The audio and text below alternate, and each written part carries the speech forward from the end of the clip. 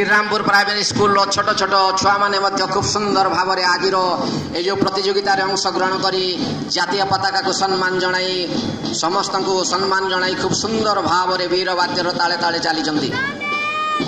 ଏ ଦୃଶ୍ୟକୁ ଅବଲମ୍ବନ କଲେ ୟାଙ୍କରି ଭିତରେ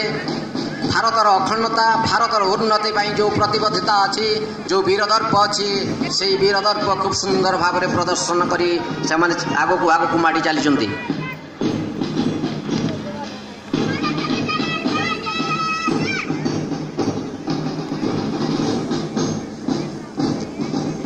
ବର୍ତ୍ତମାନ ଆଦର୍ଶ ବିଦ୍ୟାଳୟର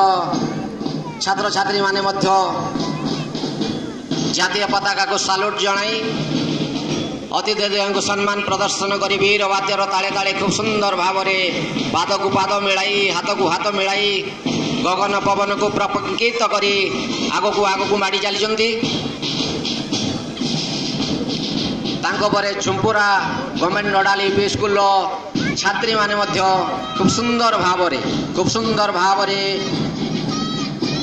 ବୀରବାଦ୍ୟର ତାଳେ ତାଳେ ଆଗକୁ ଚାଲିଛନ୍ତି ତାଙ୍କ ପରେ ଭାଲୁକା ୟୁଜି ୟୁପି ସ୍କୁଲର ଛାତ୍ରୀମାନେ ମଧ୍ୟ ଖୁବ୍ ସୁନ୍ଦର ଭାବରେ ଖୁବ୍ ସୁନ୍ଦର ଭାବରେ ଜାତୀୟ ପତାକାକୁ ସମ୍ମାନ ଜଣାଇ ବୀରବାଦ୍ୟର ତାଳେ ତାଳେ